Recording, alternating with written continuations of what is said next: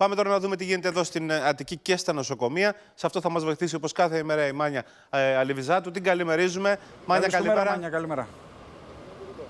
Καλή σας ημέρα. Εμείς βρισκόμαστε στο Σωτηρία και όταν μιλάμε για άνοιγμα και το τι μπορεί να ανοίξει τις επόμενες ημέρες, οι ΜΕΘ και οι απλές κλίνες σε όλα τα νοσοκομεία του Λεκανοπεδίου πραγματικά αναστενάζουν.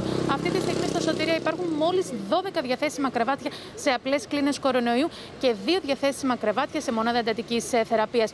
Στο Αττικόν, 30 απλές κλίνες διαθέσιμες, περίπου 5 τα διαθέσιμα κρεβάτια στη μονάδα εντατικής θεραπείας.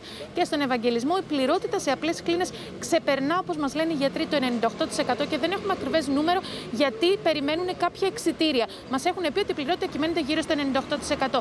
Με τις διαθέσιμες κλίνες της μονάδας εντατικής θεραπείας να είναι μόλις 6. Πραγματικά ε, το κρεβάτι στη μονάδα εντατικής ναι. θεραπείας στο λεκανοπέδιο είναι πλέον δυσέβρετο. Αυτό μας λένε όλοι και να σας πω και μια τελευταία πληροφορία ναι. ότι στο, το ΕΚΑΒ πλέον εξυπηρετεί καθημερινά 180 με 200 περιστατικά επιβεβαιωμένων κρουσμάτων κορονοϊού ημερησίως. Μάλιστα. Δυστυχώς τα πράγματα δεν πέφτουν όπως περιμέναμε να πέσουν. Και, φαίνεται και το τελευταίο νούμερο που μας είπε. Και τις επόμενες μέρες Μαρτίου. Έτσι είναι. Να δούμε, να δούμε και κάποια αύξηση. Μάνια, ευχαριστούμε πολύ. Καλό ρεπορτάζ. Καλή συνέχεια και προσοχή.